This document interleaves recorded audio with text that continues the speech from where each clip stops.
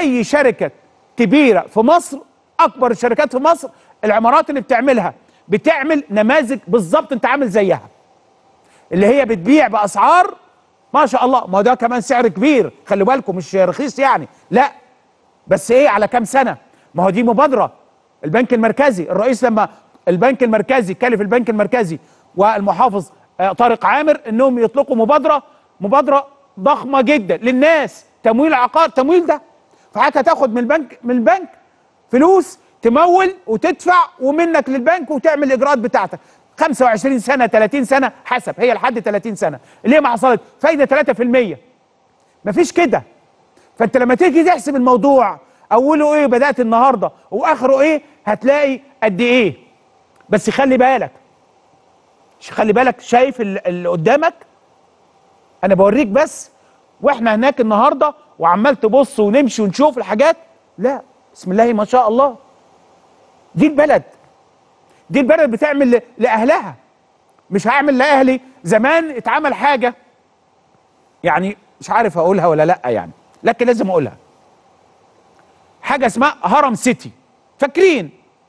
فاكرين؟ اتعمل حاجة زي البلوكات كده.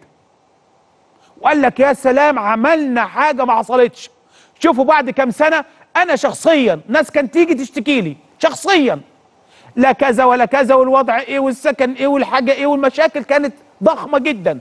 طب هو ده تقول لي هرم سيتي ولا هرم خوفو؟ قدامك. أنا بوريك عشان بس حضرتك تبص. البلد لو البلد دي مع مش شايفة آه، الناس وتعمل لهم المتميز مش هقدر اعمل ده ولا كنت أقدر اقرب اعمل اسكان بهذه الطريقة للمواطنين للي محتاج شقة لابنه وبنته في هذا المكان وفي مكان آخر سكن مصر أقل شوية وأسعاره أرخص شوية. ولكن كمان حاجة كويسة. تاني بقول ما هو هنا آه، هنا اللي معاه يقدر يشتري هنا واللي أقل شوية يقدر يشتري هناك. وفي الآخر بقول لك تمويل البنوك.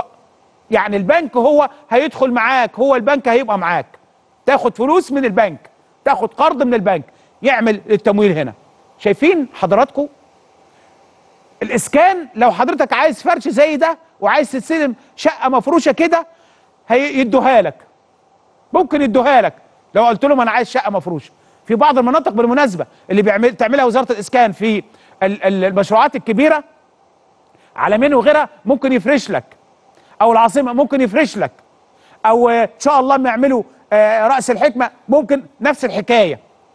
ما أنت كل حاجة ليها تكاليف. وهو كمان مش هيديك حاجة وهو خسران. مش هيبقى خسران طبعا. مفيش خسائر. والرئيس ما بيقبلش بالموضوع ده نهائي. أعمل حاجة آه ولكن على الأقل ما تبقاش ما تبقاش غالية قوي على الناس. يعني مش هنخسر ولكن مش هنبقى كسبانين قوي يعني إيه؟ تقدر تعمل توازن. ما بين ال- اللي انت بتعمله وخاصة ان هو كمان يعني آه، بيشيل حاجات كتيرة من سعر الأرض ومش عارف إيه والمر... يعني كتير يعني.